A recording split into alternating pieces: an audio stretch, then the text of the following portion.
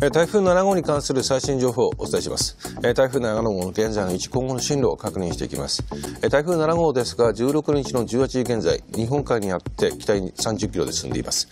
中心気圧は990ヘクトパスカル、最大風速は20メートル、最大瞬間風速は30メートルです。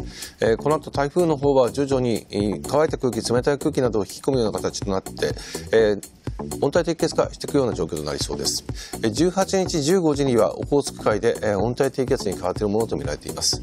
ただ、台風の方ですけども、日本海海上を進んでいくという形となりますので、そこに向かって湿った空気がどんどんと入り続けてしまうといった状況となりそうですね。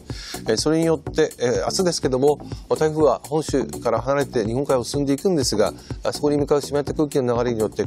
広い範囲でやはり雨といった状況となりそうです。時折激しく降ることがありますから十分注意をしてください。特に先日、台風7号が通過した時に大雨となったエリア、ちら見ていただきますと土の中だいぶ水が染み込んでいて地盤が緩んでますから少しの雨でも土砂崩れなど起きやすい状況ですので崖などには近づかないようにしていただければなと思います。以上台風7号に関する最新情報をお伝えしました。ウ